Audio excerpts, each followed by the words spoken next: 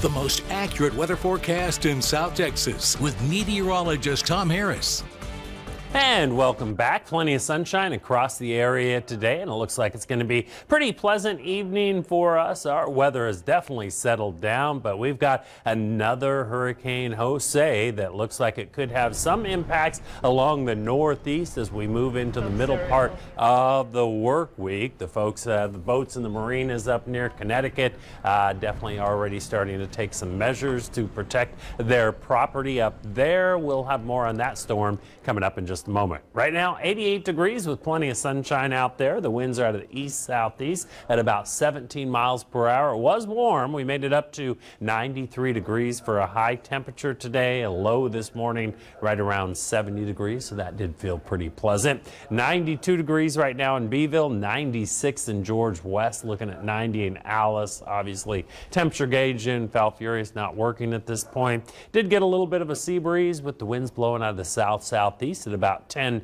to 15 miles per hour. And that's what we're going to see again tomorrow. The winds are not going to be a big issue at all, and that's going to give us a pretty nice beach and boating forecast. Our bays are going to be mostly smooth. Our Gulf Seas running right around two feet. Water temperature is at 83 degrees. Hardly a cloud in the sky here across the coastal bend, and uh, that looks like it'll change a little bit as we move into our Sunday. We are seeing some showers off to the west, but some moisture is going to be creeping in from the south and out into the Gulf, and that'll give us isolated showers Sunday, Monday, probably into Tuesday. The future tracker picking up on that just a little bit, maybe a few showers across the upper Texas coast tomorrow, an isolated possible shower in our area also, but a better chance of rain as we move into Tuesday. That's when we'll see uh, some showers developing here in our neck of the woods and still some rain up across parts of Houston.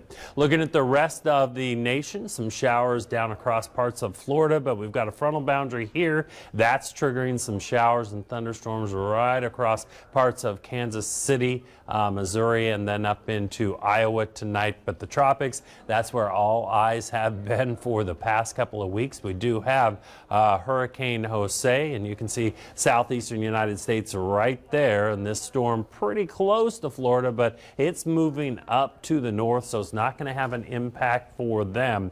But as we look at the track of this storm as we move into the work week ahead, it looks like it's going to weaken to a tropical storm as it breezes right along the northeast coast. And if it moves to the west a little bit, that's when people are going to start to get concerned. So that's why all eyes on Jose. We've got two more right behind it. We have Tropical Storm Maria and we have Tropical Storm Lee, and both of these pushing off to the west. Fortunately, we're getting into that time of year where we get those fronts, and it's more of an issue for the eastern seaboard than for those of us in the Gulf, but uh, we are definitely watching our two new named storms, which are Maria and Lee. As far as our forecast for tonight, looking for partly cloudy, some patchy fog, overnight low of 74 degrees for tomorrow. Sunny, isolated showers. We'll see a high temperature right around 91. Winds out of the southeast, 5 to 15 miles per hour. Your seven day forecast looking for isolated showers